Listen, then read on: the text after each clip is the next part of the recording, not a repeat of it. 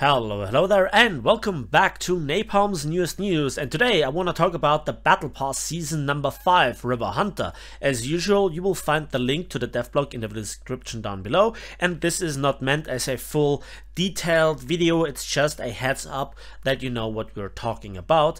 And then if you really want to know more, you can go into the video description and click on the link, and then you can read through it for yourself. So, October the 27th till January the 26th.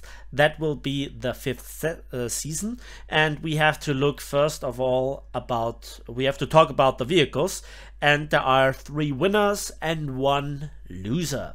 So first of all, let's talk about the LVT 440, which will be a French low tier vehicle, and it has a 40 millimeter and from what I can see also two coaxial 50 cal. So very strong versus aircraft and very strong versus tank. Um, it's also amphibious.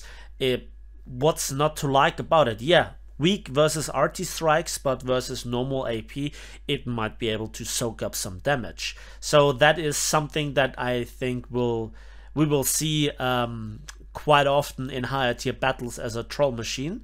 Then we have to talk about here the PT658 torpedo boat.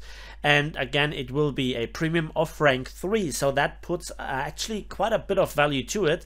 But in terms of naval forces and patrol boats, it's not outstanding. And naval forces is in a dubious state. Yes, to capture some capture points, it will be good. Uh, 240 millimeter Bofors again featured are not bad. The torpedoes, yeah, you have four, but it's not something really different to what we already have in the tech tree or as premiums available. So not really something amazing, but not really terrible either. Then we have to talk about the Beaufighter Mark 1 with the 40 millimeter, and not just one, but 2. And from what I can see, it might also get AP, and with that, it will be a threat to aircraft and tanks alike. And we will see quite a few of trolls with this as well. Um, so this will be unique, this will be cool, but it will be, will be not extremely unique. Think about Yak 9T, Yak 9K, and other such aircraft, B6R3 for the German Me410 variants, etc.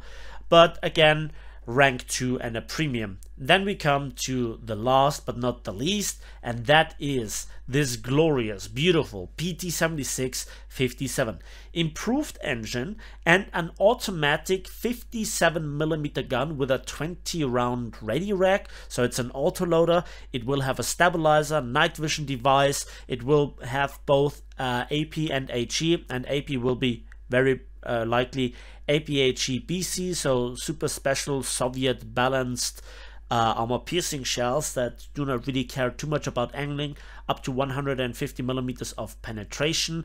Also um, amphibious, and sadly, I think it will not get uh, proximity round. So it's a bit more like ZSU 57-2 and not like the Chinese variant of that. So those are the ones. Now let's have a look at this, which also you can find as a link from the initial link.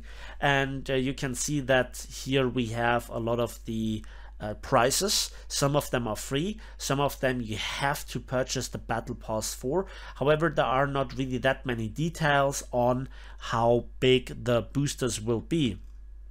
And I think that we will never reach again the booster prices the amount of boosters and their size as we reached like um, a year ago with the first battle pass season so yeah, then there are the uh, descriptions for the various different special tasks, and that is all that is there to be said about the new Battle Pass Season 5. I hope that you enjoyed the quick informational video. Again, Link in the video description down below if you wanna read through it again or in more detail. That's it for me today, so thanks for watching, thanks for listening. You know where to hit the like button, to subscribe, and also we will see each other on the waves in the skies and on the battlefields of War Thunder.